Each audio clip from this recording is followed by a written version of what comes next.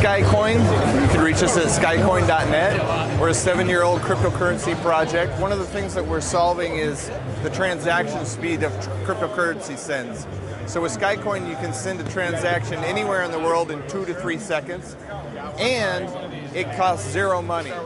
So that's something that uh, with some of the other cryptocurrency projects, when the network gets full, transaction costs go up and the speed slows way down. So we've solved that. Um, one of the things that we're building to take our Skycoin brand to the marketplace is a decentralized wireless mesh internet. So what this means, we actually have hardware right here. And with this hardware, you're able to send and receive internet data packets.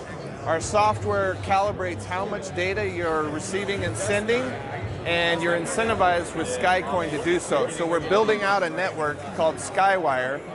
I think this is important to people. It fulfills a need for people to have uh, a private, an, an, internet where their data is kept private. It's all encrypted end to end, and it's not being sold off to corporations and, and private entities that are monetizing your own data. So it reestablishes privacy and it's an open, uncensored internet. I think that's very important.